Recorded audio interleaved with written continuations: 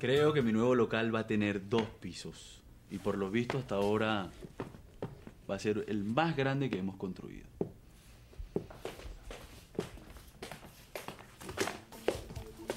Caramba. Bienvenidos al Excentro Juvenil. Tú eres el amigo de Luis G.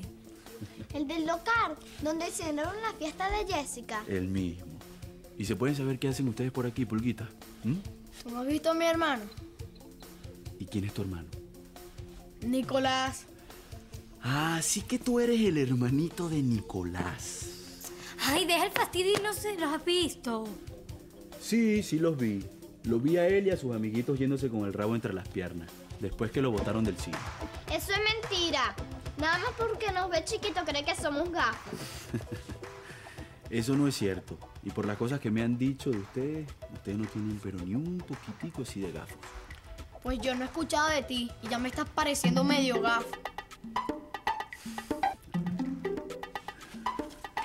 Si no está Nicolás, tenemos que pensar en algo solo por las cartas.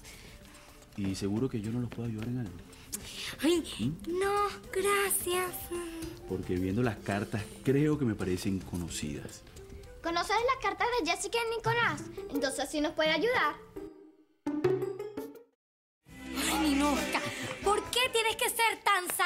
¿Por qué? Y si nos puede ayudar en serio. Con esa cara. ¿Qué va? ¿Y cómo le ibas a ver? Ay, bueno, pues preguntando antes de hacerlo. Devuélvenos esas cartas. Esas cartas no son tuyas, Ni quédame acá. tampoco. Pero son de nuestros hermanos. Mire, muchachitos, yo le voy a dar un consejito. La próxima vez no anden en la vida siendo tan inocentes.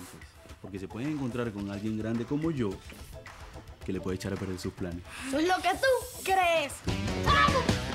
Lo siento, niñitos, pero vamos a tener que dar un paseo. Suéltame. Ay, eres un malo, un destructor de menores. Deja que vea a mi papá. Le voy a decir que te meta preso para toda la vida. Y deja que yo vea al señor Linares y le voy a decir que sus hijitas del alma estaban con el hijo del señor Pereira. ¿Qué les parece? ¡Ay, ay,